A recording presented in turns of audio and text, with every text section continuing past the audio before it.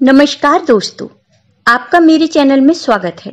आज मैं आपको हरियाली तीज की कथा सुनाने जा रही हूँ।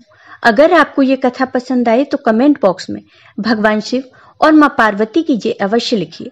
साथ ही अगर आपने अभी तक मेरे चैनल को सब्सक्राइब नहीं किया तो सब्सक्राइब कर लीजिए और बेल आइकॉन पर क्लिक ज़रूर कीजिए, जिससे हमारे वीडियो के नोटिफिकेशन आपको मिलते रहें। श्रावण मास के शुक्ल पक्ष की तृतीया को श्रावणी तीज कहते हैं। परंतु ज़्यादातर लोग इसे हरियाली तीज के नाम से जानते हैं। यह त्योहार मुख्य रूप से उत्तर भारत में मनाया जाता है। इस दिन स्त्रियाँ माता पार्वती जी और भगवान शिव जी का पूजन करती हैं। इस दिन महिलाएँ निर्जला व्रत रखती हैं। इस व्रत को करवा चौथ से भी कठिन व्रत बताया गया है। इस दिन महिलाएँ पूरा दिन बिना भोजन जल के व्यतीत करती हैं।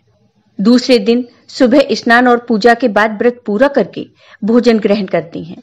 इसी वजह से इस व्रत को करवा चौथ से भी कठिन माना जाता है। इस दिन जगह जगह झूले पड़ते हैं। इस त्योहार में स्त्रियाँ हरा लहरिया या चुनरी में गीत गाती हैं, मेहंदी लगाती हैं, श्रृंगार करती हैं, झूला झूलती हैं और नाचती हैं। हरियाली तीज के दिन अनेक स्थानों पर मेले लगते हैं और माता पार्वती की सवारी बड़े धूमधाम से निकाली जाती है। हिंदू धर्म शास्त्रों के अनुसार किसी भी व्रत का पूर्ण फल कथा श्रवण या कथा के पाठ करने के बाद ही मिलता है। अगर आप भी हरियाली तीज का व्रत रख रहे हैं तो इस दिन हरियाली तीज की कथा का पाठ अवश्य करें। अब सुनिए हरियाली तीज की ये कथा। एक समय की बात है। माता पार्वती अपने पूर्व जन्म के बारे में याद करना चाहती थी, लेकिन उन्हें कुछ याद नहीं आ रहा था। ऐसे में भगवान शिव देवी पार्वती से कहते हैं, हे पार्वती, तुमने मुझे प्राप्त करने के लिए 107 बार जन्म लिया था, लेकिन तुम मुझे पति रूप में न पा सकी। लेकिन 108वें जन्म में तुमने पर्वतराज हिमालय के घर जन्म लिया और मुझे बर रूप में प्राप्त करने के लिए घोर तपस्या की। फिर भगवान शिव कहते हैं, हे पार्वती, तुमने अन्य जल का त्याग कर पत्ते खाए और सर्दी, गर्मी एवं बरसात में हज़ारों कष्ट सहकर भी अपने व्रत में लीन रही। तुम्हारे कष्टों को देखकर तुम्हारे पिताजी बहुत दुखी थे। तब नारद मुनि तुम्हारे घर पधारे और कहा कि मुझे भगवान विष्णु ने भेजा है। भगवान विष्णु आपकी कन्या से अत्यंत प्रसन्न है और वह उनसे विवाह करना चाहते हैं। मैं भगवान विष्णु का यही संदेश लेकर आपके पास आया हूँ। नारद जी के प्रस्ताव को सुनकर पार्वती जी के पिता खुशी से भगवान विष्णु के साथ विवाह के लिए तैयार हो गए। नारद मुनि ने भी भगवान विष्णु को यह शुभ संदेश सुना दिया। लेकिन जब यह बात पार्वती को पता चली, तब वह बहुत दुखी हुई। पार्वती ने अपने मन की बात अपनी सखी को सुनाई। तब सखी ने माता पार्वती को घने जंगल में छुपा दिया। जब पार्वती के गायब होने की खबर हिमालय को पता चली, तब उन्होंने पार्वती को खोजने में धरती पाताल एक कर दिया। लेकिन पार्वती का कहीं पता नहीं चला, क्योंकि देवी पार्वती तो जंगल में एक गुफा के अंदर रेत से शिवलिंग बनाकर शिव जी की पूजा कर रही थी। हे पार्वती, इस प्रकार तुम्हारी पूजा से मैं बहुत प्रसन्न हुआ और तुम्हारी मनोकामना पूरी की।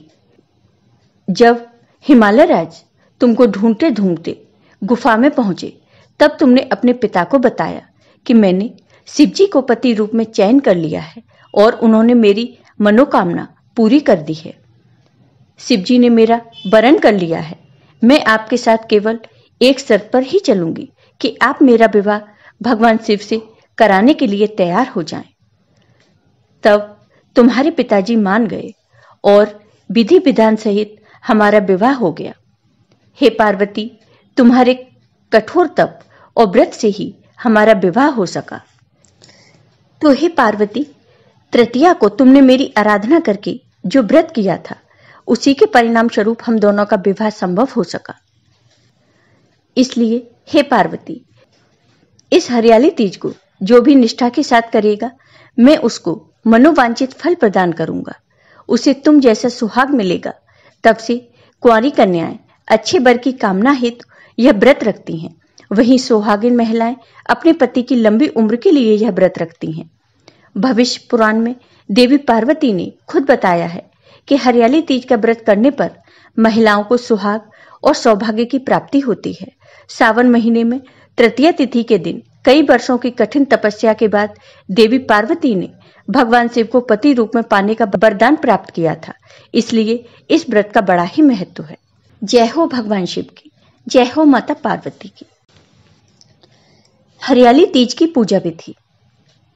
इस दिन सुहागिन महिलाओं को सुबह सुबह स्नान आदि से निर्वृत्त होकर अपने मायके से आई साड़ियाँ और श्रृंगार के सामान का उपयोग करना चाहिए। इसके बाद शुभ मुहूर्त के अनुसार माता पार्वती और भगवान शिव के साथ गणेश भगवान की प्रतिमा स्थापित करें। सबसे पहले गणेश पूजा करते हैं। इसके बाद माता पार्वती को सोलह श्रृंगार की सामग्री के साथ साड़ी अच्छत दीप, धूप, गंध आदि अर्पित करते हैं। उसके बाद भगवान शिव को भाँग, धतूरा, श्वेत फूल, बेलपत्र, धूप और गंध आदि समर्पित करते हैं। हरियाली तीज की कथा सुनते हैं और उसके बाद तीनों लोगों की आरती करते हैं। अंत में सभी भक्तजनों में प्रसाद और पंचामृत का वितरण करते हैं। हरियाली तीज व्रत निर्जला होता है, इसलिए यदि आप हरियाली तीज व्रत रख रही हैं तो ध्यान रहे कि व्रत की शुरुआत से लेकर पारण तक जल भी ग्रहण नहीं करना चाहिए। हरियाली तीज के व्रत में हरे रंग का महत्व होता है। हरा रंग अखंड सौभाग्य का प्रतीक माना जाता है। साथ ही ये रंग शिवजी और माता पार्वती को बेहद प्रिय है। ऐसे में इस व्रत में महिलाएँ हरे रंग की चूड़ी, बिंदी, हरी साड़ी और अन्य श्रृंगार सामग्री में हरे रंग का इस्तेमाल ज़्यादा करें। हरियाली तीज का व्रत महिलाएँ अपने पति के लिए रखती हैं। ऐसे में कोशिश करें कि व्रत के दिन पति पत्नी दोनों ही एक दूसरे से बात विवाद न करें। ज्योतिष के अनुसार जो व्रती महिलाएँ किसी कारणवश हरियाली तीज पूजा में शामिल नहीं हो सकती हैं, वे हरियाली तीज व्रत कथा को ज़रूर पढ़ें या सुने। हरियाली तीज का महत्व। सुहागिन महिलाओं के लिए हरियाली तीज व्रत बहुत ही महत्वपूर्ण होता है। हरियाली तीज के खास मौके पर महिलाएँ झूला झूलती हैं और सावन के गीत गाती हैं। पौराणिक कथाओं के अनुसार माता पार्वती ने भगवान शिव को पाने के लिए कठोर तपस्या की थी। उनका कठोर तप देखकर भोलेनाथ प्रसन्न हो गए थे और हरियाली तीज के दिन माता पार्वती को पत्नी के रूप में स्वीकार कर लिया था। इस व्रत को करने से सुहागिन महिलाओं को अखंड सौभाग्यवती होने का आशीर्वाद मिलता है। जय हो भगवान शिव की, जय हो माता पार्वती की।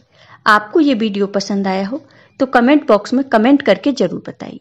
साथ ही मेरे वीडियो को ज़्यादा से ज़्यादा शेयर करिए। धन्यवाद।